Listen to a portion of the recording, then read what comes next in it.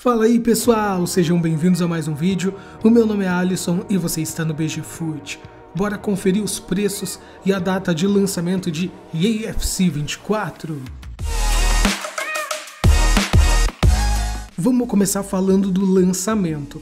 A gente ainda não tem a confirmação oficial, mas muito provavelmente vai ser dia 29 de setembro deste ano. A EA está preparando uma versão de testes antecipado para quem joga no PlayStation 5. Não sabemos se vai ser pago ou se vai ser de graça o tal do Clubhouse. Não sabemos como vai funcionar isso.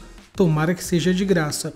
Mas conhecendo a EA, deve ter algum preço ali, devemos ter que pagar alguma taxa. Enfim, o acesso antecipado ele deve acontecer entre os dias 26, 27 ali de setembro. Não sabemos se com esse Clubhouse a gente pode a gente possa ter, na verdade, um acesso antecipado ainda mais.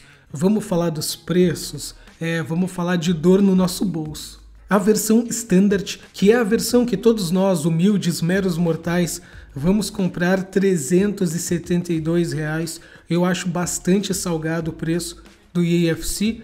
Talvez valha a pena, não sei, vamos discutir isso ao longo do vídeo. Mas temos a versão Ultimate, que deve dar algumas bonificações ali. Nesse ano não deve ter nada de diferente aí em relação às bonificações. Jogador para empréstimo, pacotinhos, blá blá blá, contratos, aquele monte de coisa que a EA sempre dá que não vale a pena versão Ultimate por mais aí de 500 reais. A temporada para hypar o FIFA já começou. O vice-presidente da EA disse que apenas a gente botando o olho num primeiro momento e dando os primeiros toques na bola, já iremos sentir a diferença do FIFA 23 para o FC 24. Segundo o vice-presidente da EA, eles trouxeram mudanças nítidas na gameplay, só jogando de fato para a gente ver. Eu sinceramente não estou com muita expectativa. Na minha opinião, os FIFAs do passado eram melhores. Tem muita gente que me chama de hater do FIFA, diz que eu odeio o FIFA. Não é bem assim, pessoal. Eu adoro FIFA 14, FIFA 15, FIFA 17. Tenho um carinho muito grande por esses jogos. Gosto bastante. Tinha até pouco tempo um mod de FIFA 14 instalado aqui na minha máquina, então não é uma questão de odiar o FIFA, é que o FIFA veio se tornando um produto mais acessível para a molecada, mais fácil de jogar, mais fácil de fazer gol no ângulo. Você não precisa treinar, treinar, treinar para jogar o FIFA bem como eu sempre dou o exemplo, né? O Joãozinho ali, Joãozinho de 12 anos, pegou o FIFA pela primeira vez, ele consegue correr, correr, correr e chutar no ângulo com o Mbappé facilmente.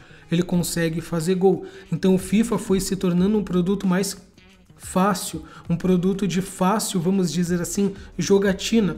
E a questão não é nem por ser fácil ou difícil, a questão é que por deixar o jogo fácil, a EA veio, cri...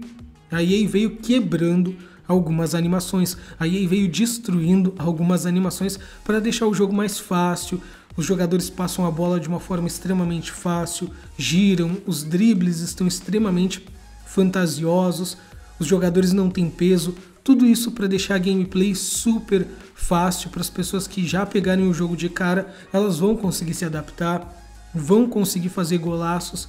Então a gente sabe, quando você pega o jogo pela primeira vez e você consegue fazer um golaço, você se sente o Pelé do FIFA, então você tende a largar menos o jogo.